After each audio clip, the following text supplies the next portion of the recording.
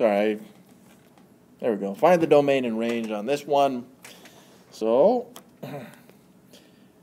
um, you guys remember hopefully from previous class when we graphed uh, inequalities, right?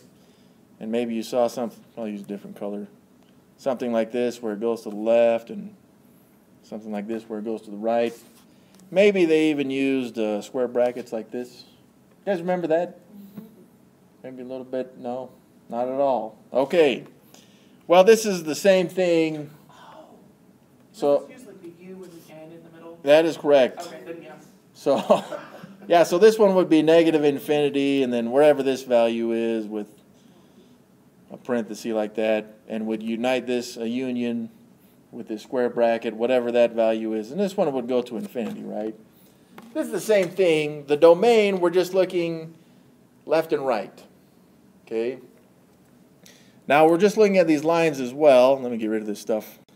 So, in other words, I can see that it starts here at this negative 1 and it goes to the left. Now, additionally, it does touch this, this negative 1, so it's included going to the left. Is that okay? And then, again, this is the domain. We're just looking at left and right. It takes a break, and then it starts back up again at 1 and goes to the right. Now, they should have put arrows on this. Sorry, that's scarce resources. All right?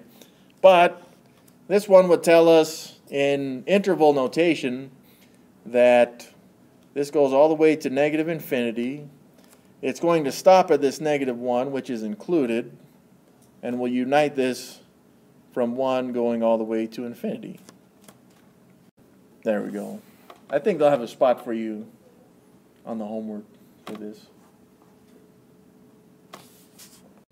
Now the range, though, we've got to look, how far up do these graphs go?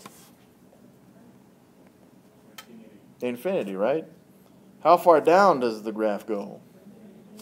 Negative infinity. So infinity is never included because it's not actually a value. But I only know one person that's counted to infinity. Does anyone know? Chuck Norris? what? He did it twice, man.